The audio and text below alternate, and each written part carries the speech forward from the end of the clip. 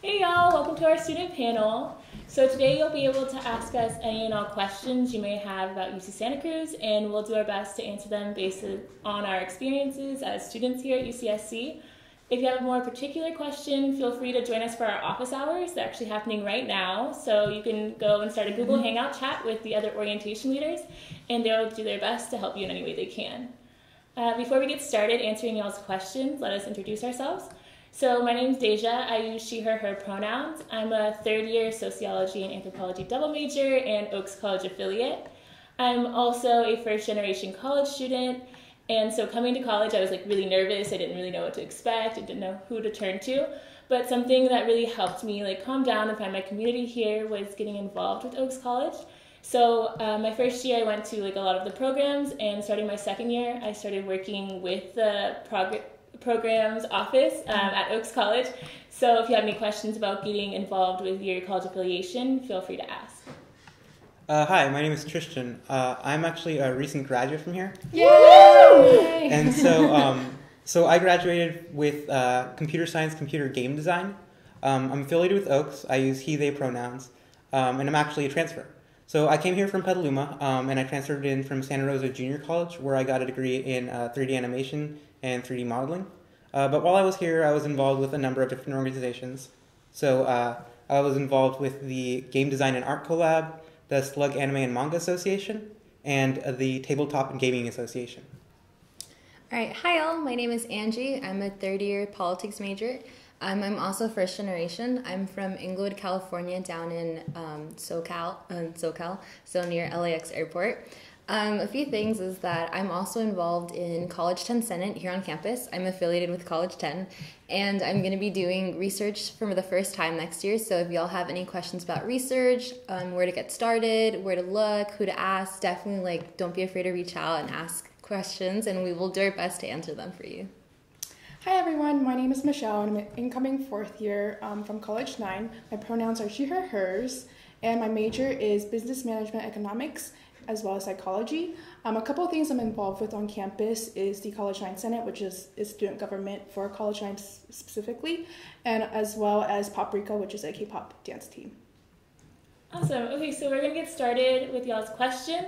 And just so you know, we are going to be looking up at a screen right above the camera that has like a rolling list of y'all's questions. So the first question is, when is Slug Course 2 due? And so that was actually due on July 14th.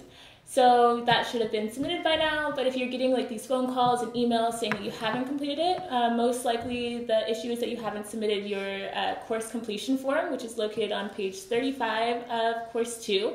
So um, make sure you submit that, and you'll know it's successfully submitted if you received an email with your responses to that form. Uh, if you're having troubles accessing uh, course completion form, there is some troubleshooting stuff on page 34. And also at this point, you probably would have received an email from us, and that just lays out some more troubleshooting stuff uh, to try and get you to uh, see course the course completion form. Yeah, and also just if you're still having problems with that, still please let us know. So right now we um, you can let us know, send us an email, and then we can also help you walk walk you through the steps. So the next question is, is it bad that I'm still undeclared? What if I want to change my major? So uh, first of all, it is definitely not bad if you're still undeclared. Uh, for a lot of frosh coming in, they are undeclared, and now is a perfectly fine time to be undeclared. So basically, uh, right now uh, you have the opportunity to sort of see what majors are on offer and see what kind of fits you the best. Um, if you are like if you are declared or if you're uh, proposed you and you want to change your major, I would definitely recommend getting contact getting in contact with your major advisor uh, for the ones that you are proposed for. If you are, and for the one that you want to be a part of. So the next question is, where can I study on campus?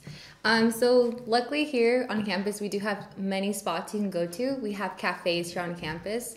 Um, personally, for me, I like to go to the College 8 Cafe, which is in Rachel Carson College. Um, so they, that's one example. We also do have McHenry Library, which is one of the main li- libraries here on campus. We also do have the Science and Engineering Library. Um, we call it SNE, so you might hear that around campus. It's located on Science Hill. Um, that's also another great place that students love to go on to study. And then also in McHenry, we do have the lawn, and a lot of students like to go outside and like get blankets and take their readings out there and just do work out there. And then in each college, we do um, have like a little library that we call them, and it's just like a little study space that it's welcome to all college student, like any college student of affiliation. Like, mm-hmm. um, it's like a really cool place to go study, and then it's a really nice place to go hang out with your friends and just chill out there too. Yeah, another study space I really like is the computer labs. They're located all across campus. Um, some of them are 24 hour, like the one in Cal, as well as the one in J. Baskin. So feel free to check those out if you want to like print something or you want to use the computers there.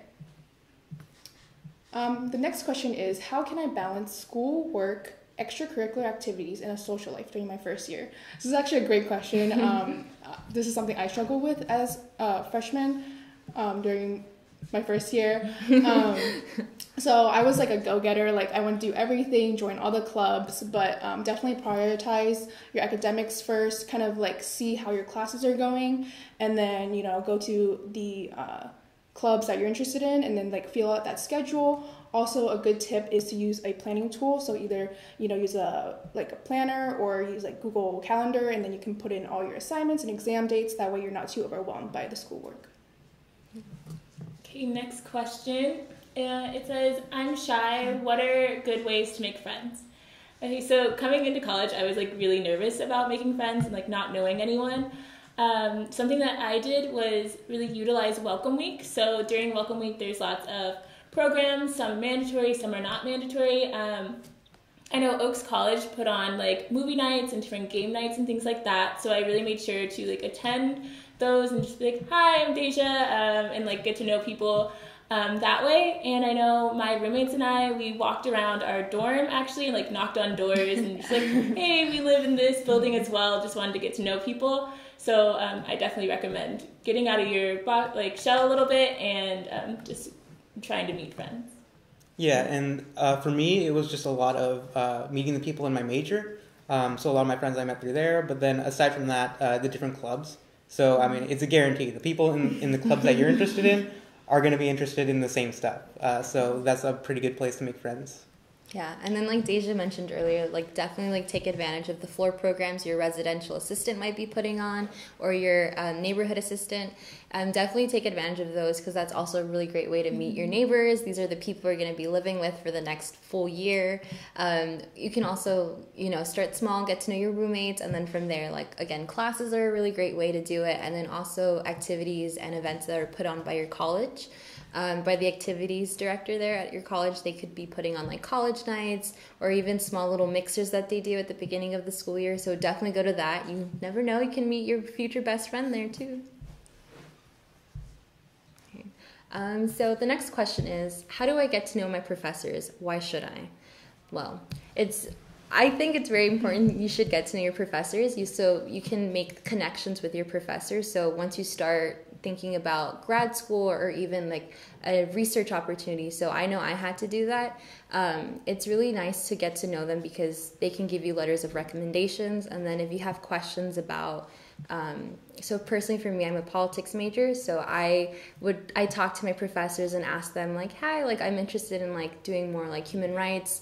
Um, public policy work like what what class would you recommend or do you know any other programs or um, an office that they're looking for interns or anything like that. So they're a really great way to find connections, get connected to outside sources, um, and then like they're just a really great resource for you to utilize. And if you're struggling in class too, it's really great to let them know that you don't understand like a subject material that you're talking about, and then they can take the time and like break it down with you and like let like explain it all so you know what you're doing. So the next question is what is a discussion section and what happens during them? So, discussion section is like a supplemental instruction in addition to your classes. Some are mandatory, some are optional. Um, it is usually held by a teacher's assistant, usually either a graduate or someone who's taken that class uh, previously. And then the classrooms are usually smaller, and then you can ask more individualized questions, or um, if you need help explaining anything that you went over in lecture, you didn't get, um, they are a great help um, for me, I definitely went to a lot of my discussion sections, and sometimes I learned even more. Like like more than like what I learned next year. yeah. Yeah, awesome. So next question is, uh, what was your favorite non-major class?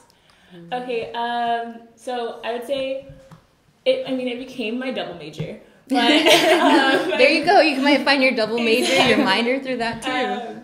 But intro, uh, introduction to cultural anthropology, Mm-hmm. um, I actually took that last quarter, and it was really interesting. Um, I had never learned about different cultures in that way, um, and I loved it so much that I decided to declare a double major in anthropology. So, Uh, so for me, since I was uh, transferring in computer science, computer game design, uh, there wasn't really too much time like to pick non-major classes. So a lot of my coursework was just for my major. Um, but from a lot of my friends, I heard that uh, theater classes. So even friends who were in like computer science, they would pick theater classes just because the, the classes are so fun. Yeah, I actually that's really funny because I took a theater class um, my first year. I actually ended up taking um, the Muppets Magic class, and it covers a GE, which is great. so it does the IM, which is the Interpreting Media GE.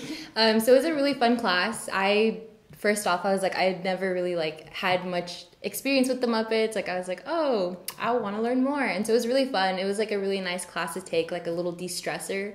So I was taking like my major class, and then I had that class, and I was like, this is my fun class. Um, it's really fun. I would definitely recommend if you want, if you're interested. Um, again, it does cover a GE, so I would definitely take a look at that, and you get to make a Muppet at the end of the final, and that's your final, making a Muppet. So who would, who doesn't want to make a friend in the Muppets?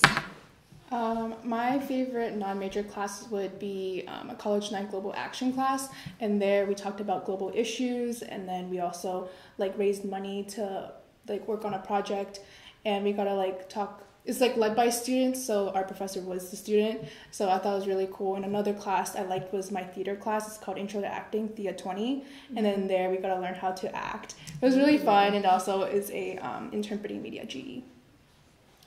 Uh, so next question is, generally, what time of day are extracurriculars?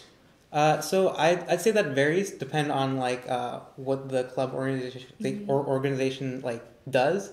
So I know for uh, the uh, game design art collab, uh, we had those at night on Fridays, just because they, they want to stress, you know, uh, the the classes you take, those come first.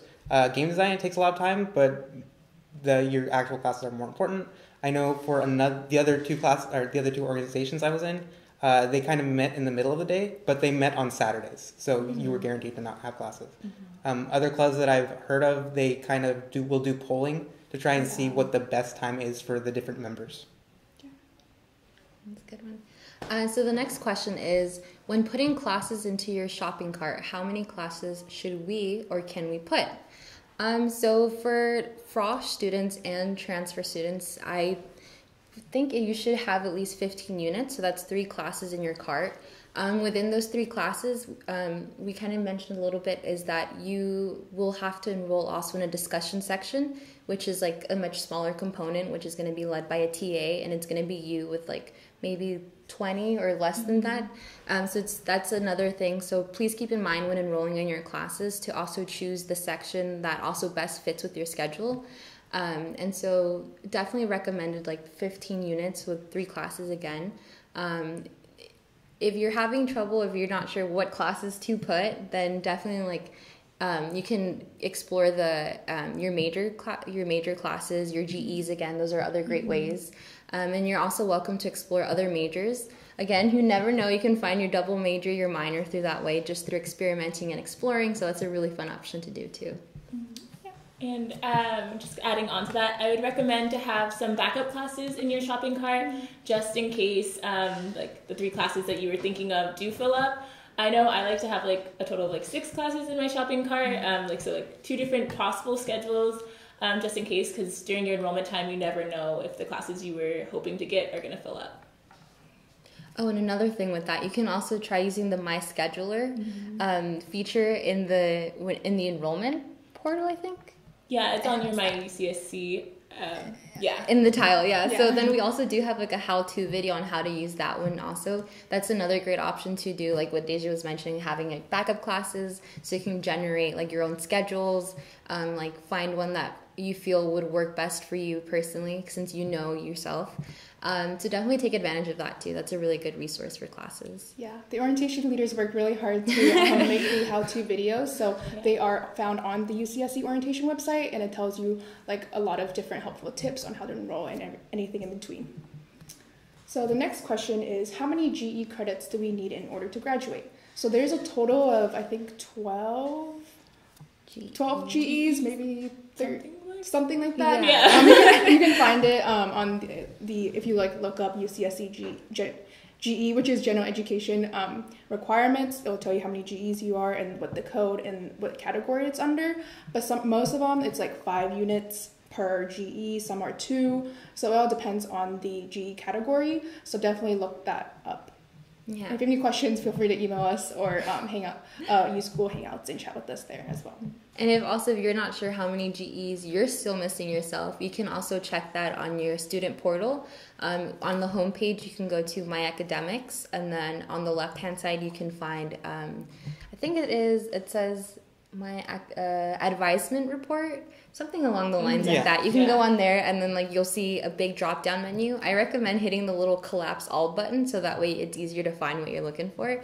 And then you can just scroll through the page and find the general requirements tab, and then you can like see what you're missing and what you've satisfied, and that can help you also plan out your schedule. Mm-hmm. Awesome. So next question is, how do you get connected with orientation staff on Google Hangouts? Okay, great question. so um, you can go to your Gmail and um, you can click on like all the different Google apps, and there will be like a Hangout tab, um, and you can just click the Google Hangouts and then type in the email of your orientation team, and you can start a chat that way. And we've also uh, sent you all emails about um, our Google Hangouts, so you can go back and refer to that email as well. Uh, so the next question is, I would like to get a job or internship on campus. Is that something freshmen can do? Uh, how do I go about applying or finding openings? Uh, so on campus, we have something called the uh, Employee Request System, or ER, and uh, so that should be opening up for you uh, sometime before uh, classes start. It's basically just a way that the different departments can request students.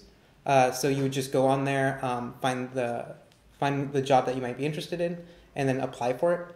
Aside from that, there are there are jobs that might be advertised um, outside of the ER, but that you would still go through the ER for. Um, but other than that, I think there's also the Career Center, which can help you out with um, internships too.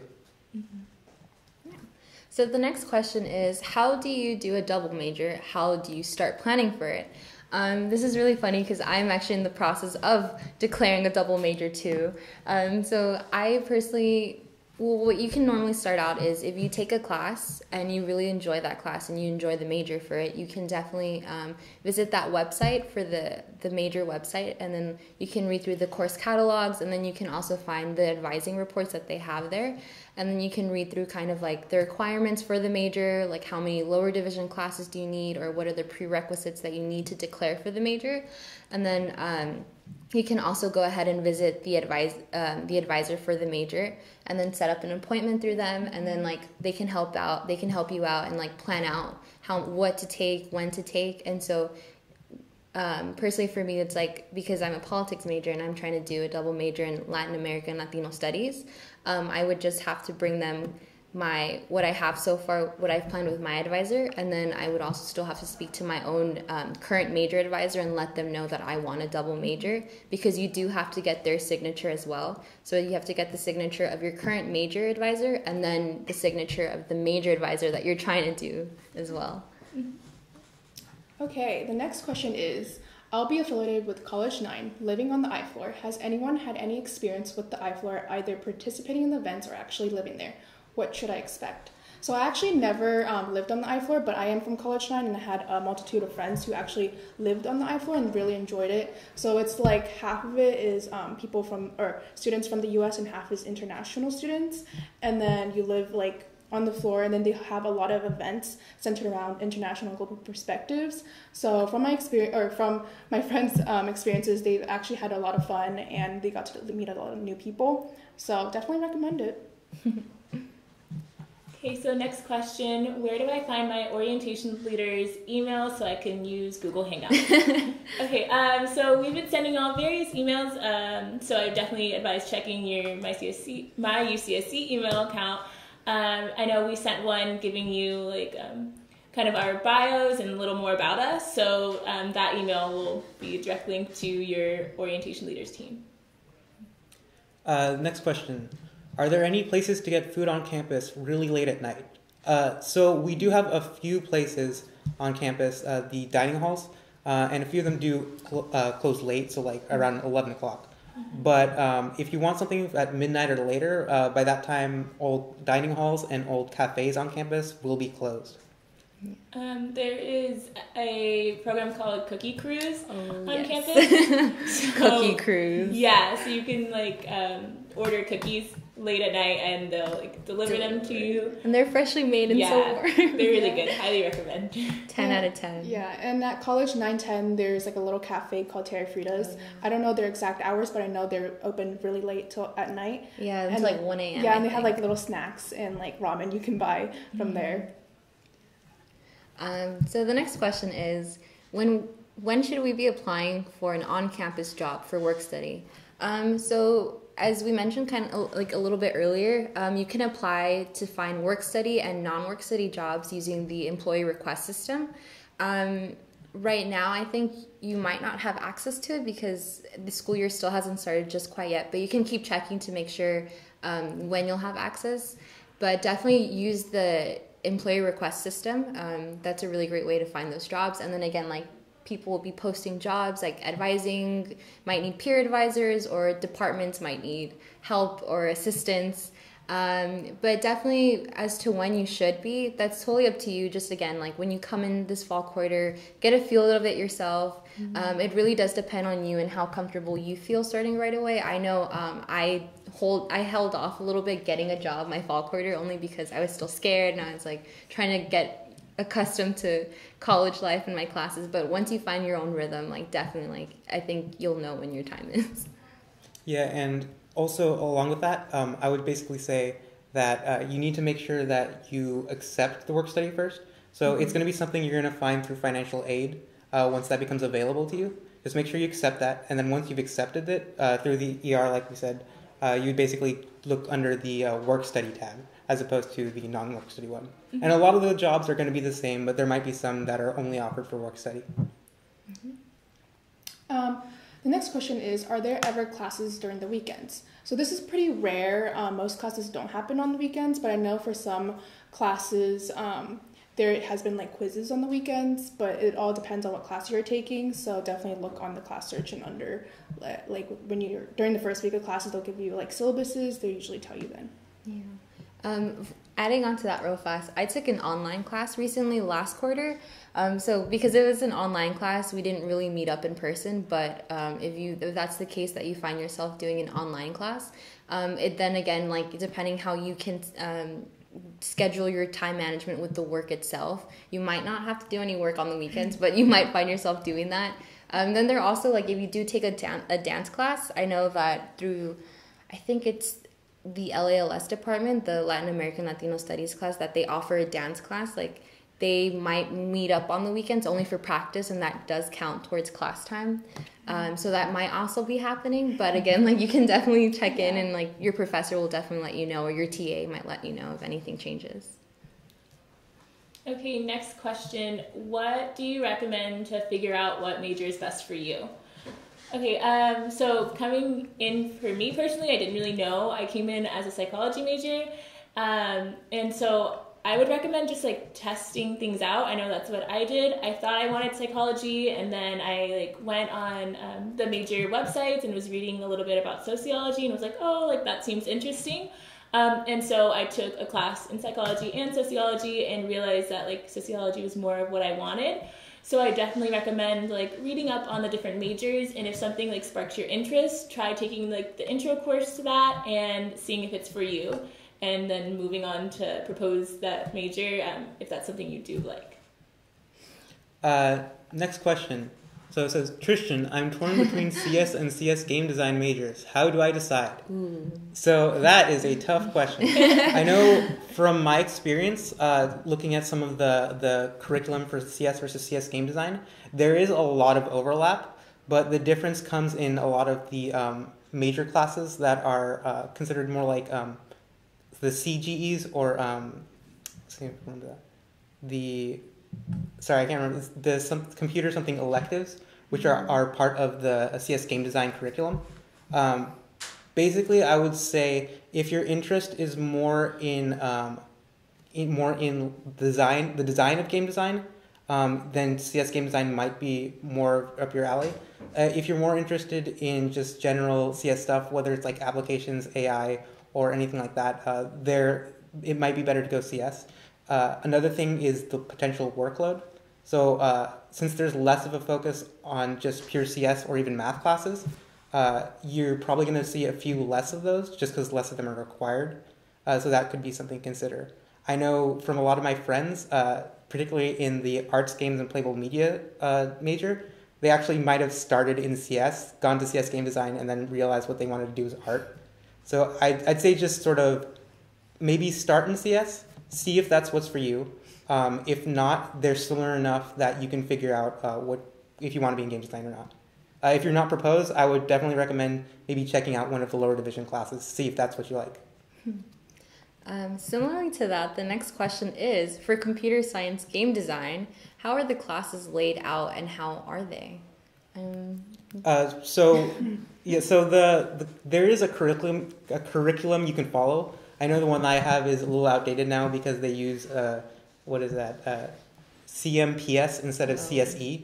Uh, so it's a, somewhat similar, but just the, the, the lettering is different. Yeah. Basically, uh, you'll find that there's like a lot of um, starting uh, programming classes. Um, then there's going to be some uh, foundational art, or not art, foundational math classes. Um, and then there's going to be a lot of foundational like game design and uh, visual studies sort of stuff. Um, I believe we've dropped the the history of art and visual the history of art and visual cul- culture component, but uh, you will still need to do some CGEs, uh, which the list has expanded more into uh, uh, computational media classes and a little bit less into uh, the math and CS classes. Okay, so next question is how do we find out who our orientation leader team is? I have not received any emails from them. So we send out emails to both your UCSC email account as well as your personal email account. So just make sure to double check both of those. If you still can't find any emails from us, um, I would email orientation at ucsc.edu with your problem or call us. Um, our number is found on the UCSC orientation website and we can help you from there. Okay, um, if I don't feel ready for certain math classes of my major, is it okay to take a lower level prep course? Um, it definitely depends on your major, but if you don't feel like you're prepared um, for the class and you want to like take a lower level class just to like jog your memory on certain things, um, it's definitely possible. I'd recommend talking to your um, advisor, and so you can plan out um, exactly what math classes you should take, um, just so you stay on track with your major requirements. Uh, next question. I feel pretty overwhelmed with all the class choices. So, is there a good way to pick out classes to, to take each quarter? Um, so, I would say that the, probably the best way is to figure out a plan with your advisor. Um, so, early on, if, if you're not entirely sure, uh, generally uh, for the first quarter at the very least, um, for Frosh, you're going to need your core course. Um, then there's uh, you should probably take we recommend like a GE and then something else um, that doesn't have to be major, it doesn't have to be GE. But then uh, later on, uh, since you're going to have the opportunity to talk to your advisor, uh, they'll help you, uh, your college or your major advisors, they'll help you figure out like what you might be interested in if you're not proposed, or if you're dead set on a certain major, they might be able to help you figure out well what classes could you need to take in order to uh, graduate.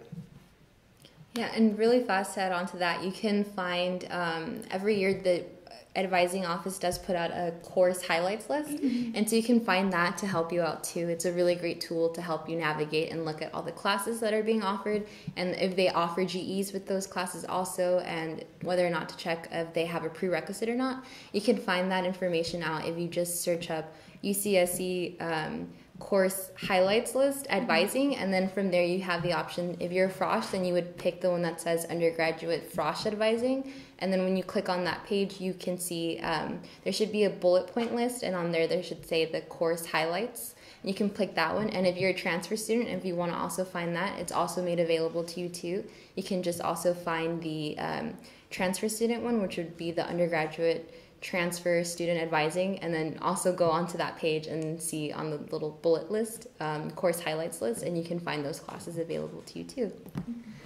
And if you are still feeling really overwhelmed with class choices, you can attend our virtual advising days happening next week. You'll be receiving emails about that.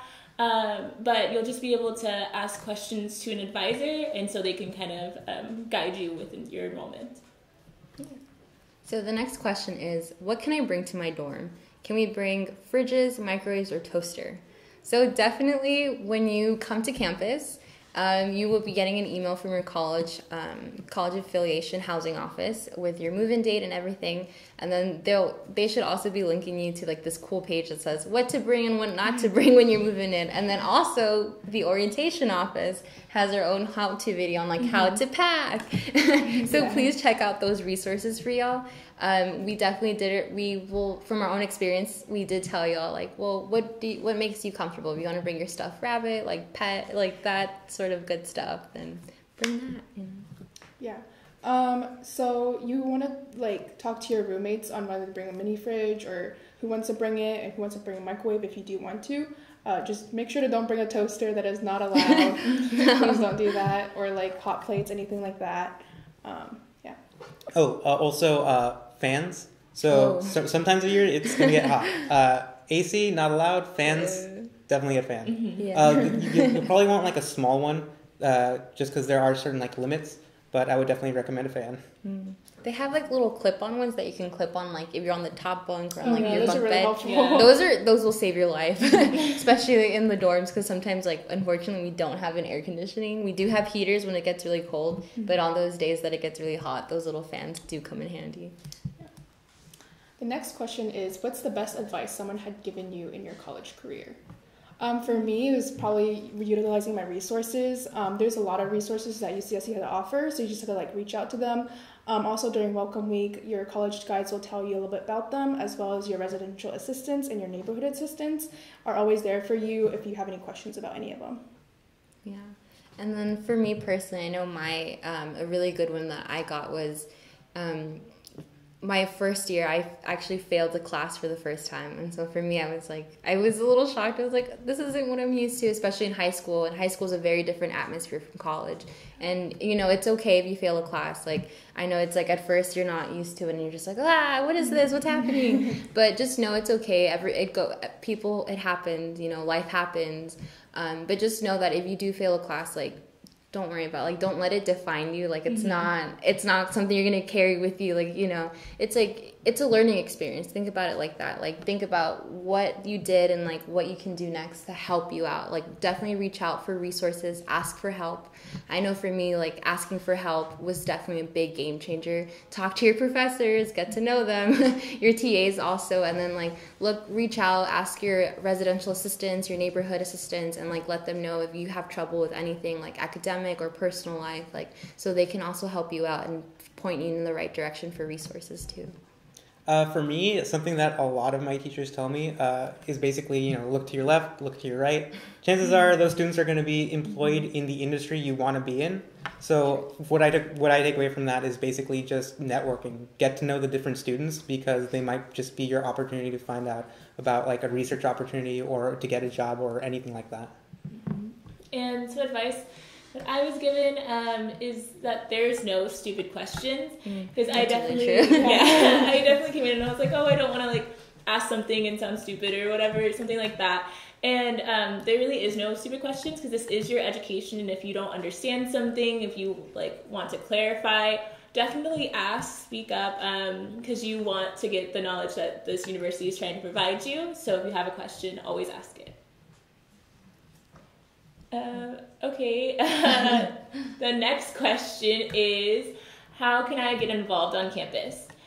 Um, okay, so you can get involved either like by working on campus through like the ER system, like we've said before, um, or you can just like attend the programs. Um, there's lots of programs and flyers and emails that we sent out and things like that.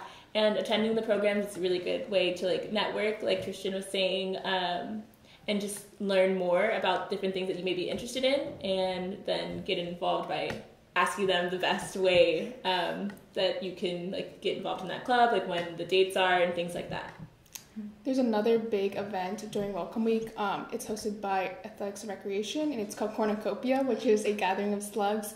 And there, um, a lot of clubs table there, and then y'all can go check out each club and see what they're about. Um, but it's a great clubs are a great way to get involved in campus, and that's how I met a lot of my friends I have today. So definitely check that out. Uh, so the last question is, what are y'all's personal favorite general education classes you've taken? Uh, so unfortunately, like I mentioned earlier, I haven't really taken any uh, GE classes. Well, for me, a lot of it was just um, you know uh, classes for my uh, major. I'm sure that uh, considering how uh, general education works, I'm sure a lot of them fulfilled a number of those. But um, I would say assuming that it was a GE, my favorite one was the uh, introduction to uh, sound for game design, which it's it's it says it's an introduction for sound to game design, but it's really just introduction to sound design, uh, and that let me know like whether or not sound like sound design as a title works for my workflow. As it turns out, it does not. But sound design is pretty fun.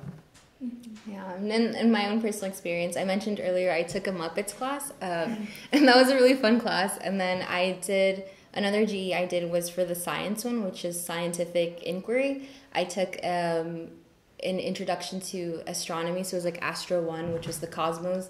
I really loved that class. Like it really motivated me, and like I wanted to pursue more into the astrophysics realm, but unfortunately math is not my cup of tea but there's a, like there's a lot of different like GEs of course like out there. There's like fun classes like the Muppets class. I would recommend 10 out of 10 um, for me um, I took psych 1 it is for my major but it's also a GE um, so it's like intro to psychology and it's really fun. You get to learn about uh, a lot of basic psychology aspects so like developmental cognitive and more. So really fun class.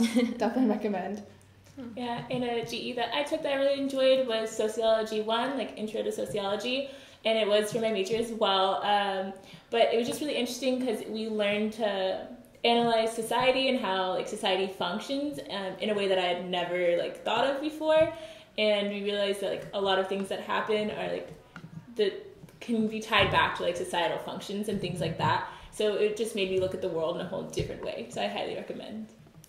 So, unfortunately, that is all the time we have today. But if you have any questions that we didn't get to answer, or you thought of more questions, feel free to email us or check in our uh, check out our virtual advising. Check out our virtual office hours, which are held weekdays, Monday through Friday, um, from 3 to 6 p.m. Um, a list of it will also be on the UCSC orientation website with available times. Also, next week we're having virtual advising hours. So um, if you have any questions for advisors, um, they will be there to help you as well. Um, if you haven't checked out the first panel, um, a recording was sent to you uh, via email, and then with the closed captioning as well, um, so you can view that as well. And if you like came in during like halfway through our panel, um, we will be releasing a recording of this panel along with the closed captioning uh, very soon. So thank you all for tuning in. Bye. Bye.